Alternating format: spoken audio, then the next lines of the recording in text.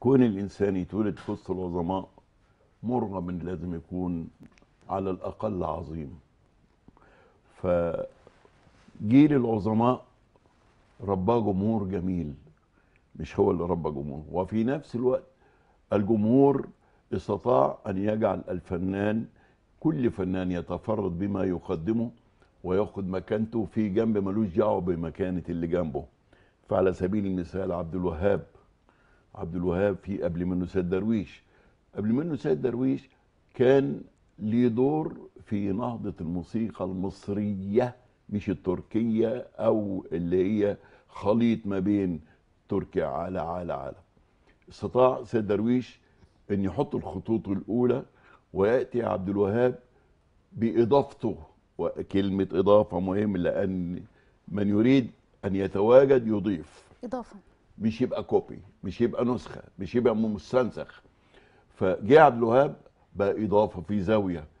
جه آه، جيل زكريا أحمد رياض السنباطي محمود الشريف إيه الأعلام دول كلهم. كل هؤلاء العظماء لما يتولد في وسطهم شيء مش هقول بني آدم. يتحول هذا الشيء إلى آدمي أو إلى بني آدم. ويبص حواليه لا يمكن يقصر على إنه يخش في وسط دول إلا إذا كان بيسمحوا له لأن هم قاريين في حاجة مش هو قاري في نفسه.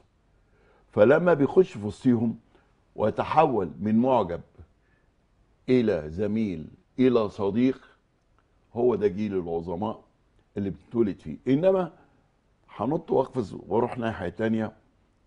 لما يتولد جيل يسمي نفسه عظيم. دون في غفلة من الزمن وفي غفلة من الجماهير مع إن صاحب الألقاب والجمهور صح. هو اللي قال عن عبد الوهاب آه، مطرب الملوك والأمراء هو اللي قال على أم كلثوم كوكب الشرق هو اللي قال على الحليم العندليب الأسمر هو هو اللي كان بيسمي عندما يسمي يسمي وهو باصص فوق لأن القمة فوق. إلى أن وصلنا إلى القمة تحت. إزاي أبص كده وأقول عليها قمة؟ يبقى أول الخلل. ليه؟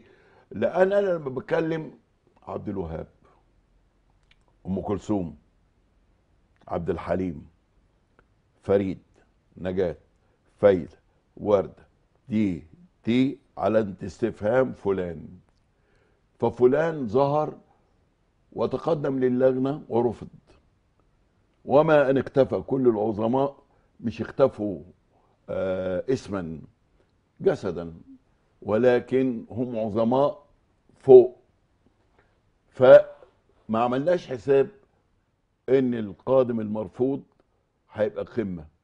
فأصبحت القمة في مستوى العين.